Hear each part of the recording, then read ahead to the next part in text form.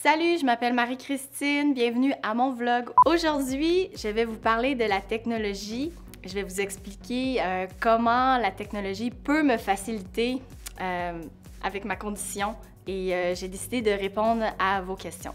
Est-ce que tu peux lire le braille? Je ne lis pas le braille, je, je, je n'aspire pas non plus à l'apprendre parce que c'est très difficile euh, d'apprendre euh, le braille.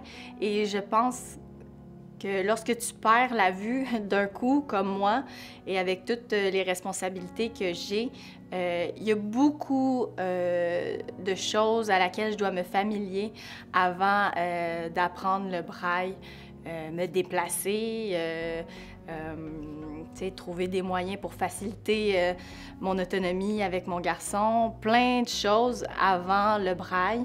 De toute façon, la technologie est là pour compenser de plus en plus. J'ai la reconnaissance vocale dans mon téléphone et mon clavier est 100% vocal.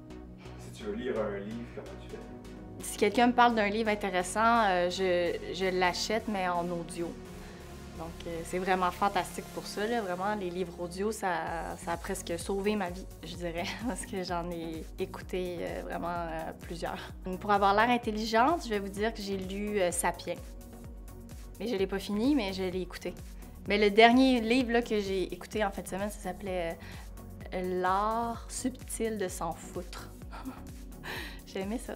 Comment tu fais pour mettre la télé?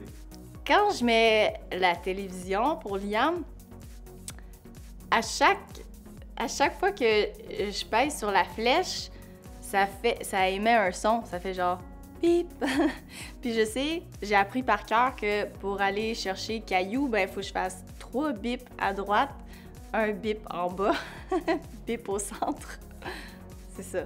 C'est comme une chorégraphie du pouce que j'ai appris.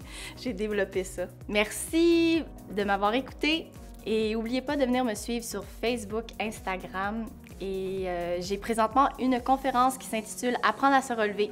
Donc, n'hésitez pas à entrer en contact avec moi si vous voulez avoir plus d'informations. Merci, à bientôt.